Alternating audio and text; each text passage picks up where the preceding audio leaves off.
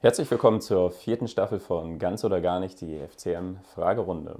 Heute bei uns zu Gast unser Abwehrspieler Daniel Heber. Grüß dich, Daniel. Hi. Daniel, du warst schon mal bei uns zu Gast. Eine wichtige Frage gleich zu Beginn. Essen oder Magdeburg? Beides. Das hast du auch schon damals gesagt. Wir brauchen eine Entscheidung.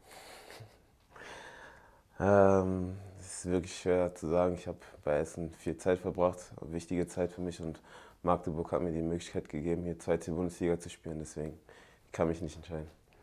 Okay, wir haben es versucht. Du hast dich von Beginn an beim FCM super etabliert. Wie siehst du deine Zeit bisher beim Club? Ja, wir haben gut angefangen, ähm, Anfang des Jahres 2023 und ähm, an diese Zeit wollen wir einfach wieder anknüpfen und ähm, guten Fußball spielen und die Leute überzeugen. Wie schätzt du die zweite Bundesliga insgesamt ein?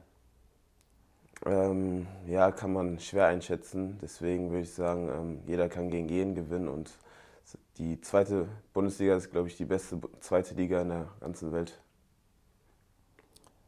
Was schätzt du an Magdeburg besonders?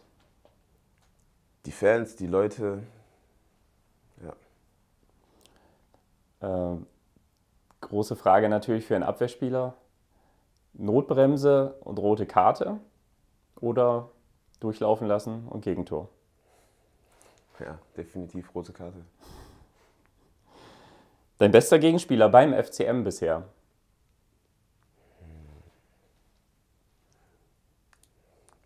Barich. Barichartig.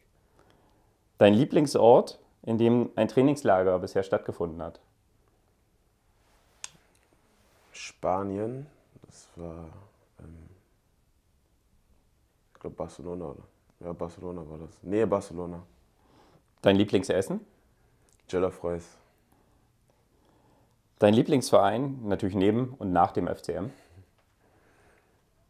Ich habe keinen. Was ist für den FCM in dieser Saison drin?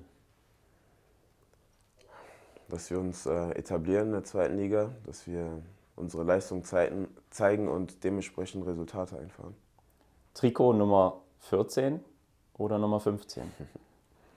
Nummer 14. Warum? Ja, das war die Zeit in Essen, ähm, wo wir aufgestiegen sind. Ähm, aber dennoch hat die Nummer 15 wichtige Bedeutung. Mein Debüt in der zweiten Bundesliga. Alles klar, Daniel. Danke dir vielmals. Bitte.